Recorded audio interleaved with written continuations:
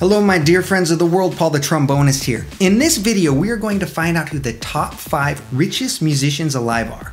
No banana, not him, although if that company was on this list, they would be 100 times more wealthy than the number one richest musician on this list. So stay tuned to find out who that is.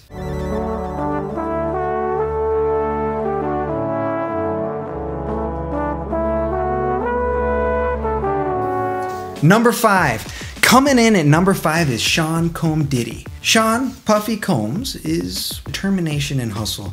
Many people are quite aware of his success, but not too many clear on how he achieved it. He first started as an intern at Uptown Records, and after a brief education in the music industry, he launched his own Bad Boy Records in 1993. His own music has received Grammys and charted at number one, but he made the majority of his money by signing many other artists that have gone platinum, such as Notorious B.I.G., Mase, Carl Thomas, Mary J. Blige, and even Usher. He took the success of what he made from music and he also went to fashion and created a clothing brand, Sean John, in 1999. This was a very wise business move that branded off to fashion for men, women, kids, perfume, and accessories. These clothes are virtually in every department store all over the world, and revenues have exceeded 500 million annually.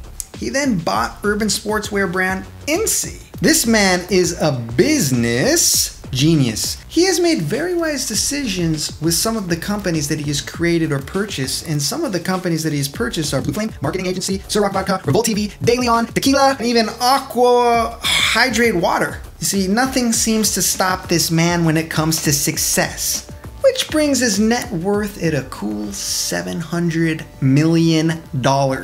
Coming in at number four is the mega producer, rapper, and businessman Dr. Dre. Becoming a rap superstar in the 1980s as a very influential ingredient in creating that West Coast rap sound with the band NWA, he later started his own label and launched the careers of superstars Snoop Dogg, Eminem, 50 Cent, and Kendrick Lamar. As you know, all these guys are very successful in their own right.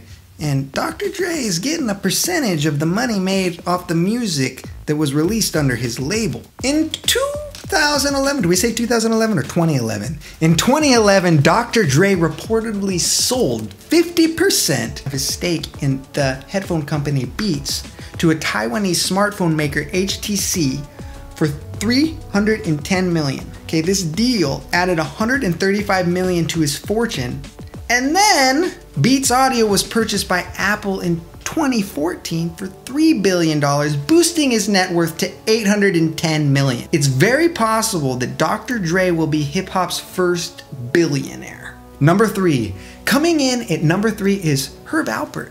Now, I personally have a lot of respect for this next musician as he is a trumpet player and fellow brass musician and the fact that he was able to make this list is really inspiring to all the instrumental musicians out there. He's known for a group he created called the Tijuana Brass, and he is also a recording industry executive. He's actually the A of A&M Records that he founded with Jerry Moss and eventually sold to Polygram. He has had five number one albums in 28 total on the Billboard charts. He's won nine Grammys, 14 platinum albums and 15 gold albums, selling 72 million records worldwide.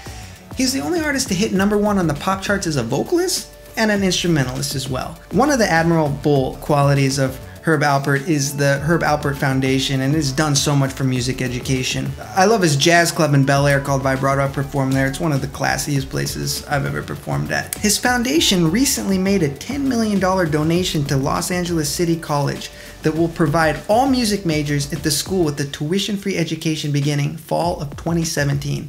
This was the largest gift to any individual college in the history of California and the second largest gift in the history of the state. His net worth is 850 million. Coming in at number two is Andrew Lloyd Webber.